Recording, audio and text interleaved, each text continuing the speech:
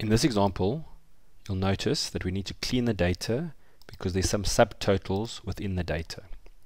So the first thing we'll do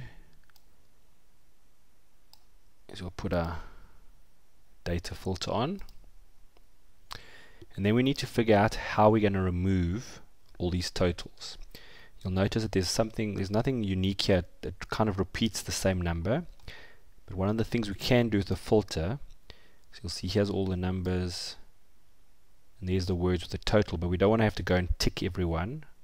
So over here we can type total, and what it does is it automatically ticks for you anything that contains the word total. When I say OK, you'll see it brings this list up